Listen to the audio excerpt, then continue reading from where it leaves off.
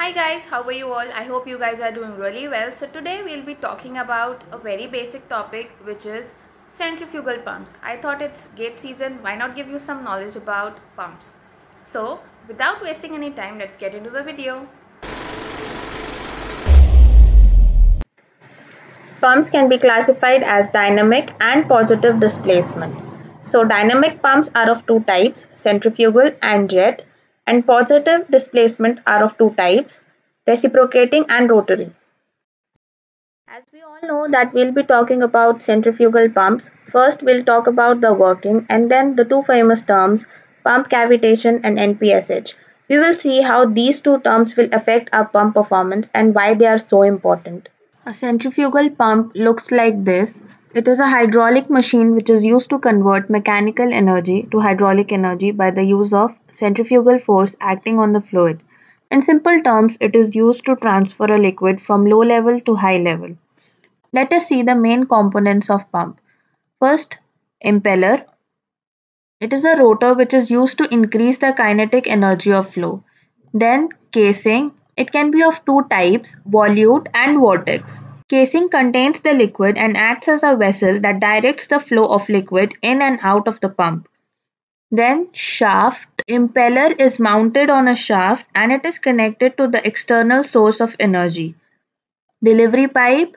It is connected at its lower end to the outlet of the pump and it delivers the liquid to the required height. Suction pump. It is used to transfer the fluid from source to the pump.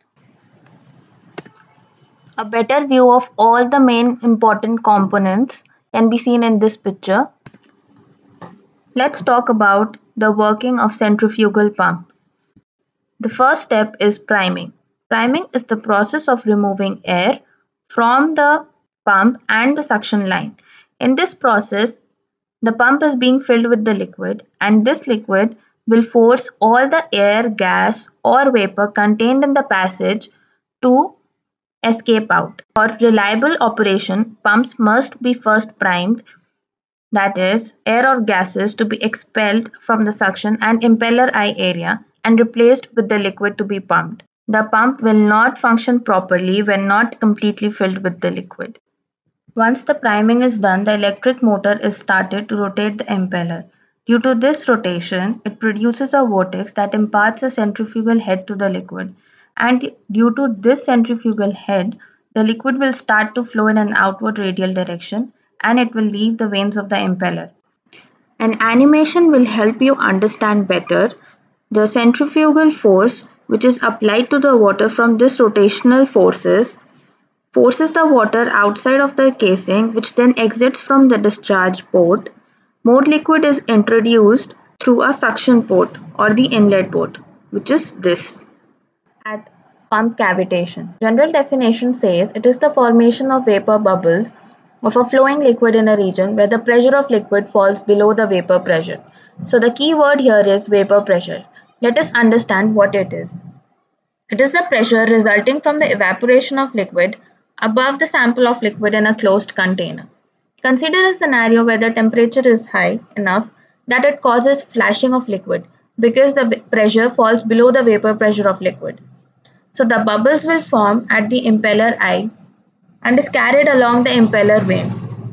As they are carried along the impeller vane, the bubbles start bursting and this continuous bursting of bubbles causes erosion of the pump and thus impacts the efficiency. This picture is for your reference to understand how the pump cavitation destroys the pump. We have seen how important it is to prevent our pump from cavitation. So, net positive suction head or NPSH will serve the purpose of avoiding cavitation. So, it is one of the important criteria during selection of pump as well. So, NPSH is the net pressure which is available at the impeller eye. There are two types of NPSH. First, NPSH required. This is mainly given by the pump manufacturer and NPSH available which we can calculate. So let us see how to do all those things. NPSH available is the absolute pressure head at the pump inlet less the vapor pressure head. So it can be calculated by this formula and where HA is the pressure head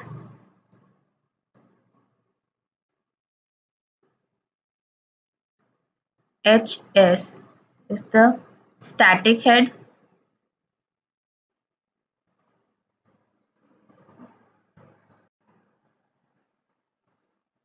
This is the vapor pressure head.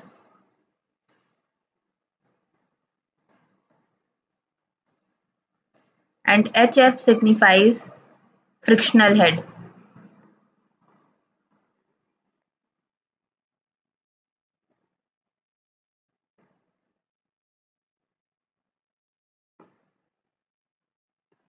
So guys, I tried making the video very short and crisp. If you want to know more about it, do let me know in the comment section below. I've already made a video on simulation of fluid flow model. You can refer to that on our channel. Also, if you want me to do a designing of pumping system on Excel, I can also do that. But do let me know. And yeah, don't forget to like, share and subscribe. Thank you.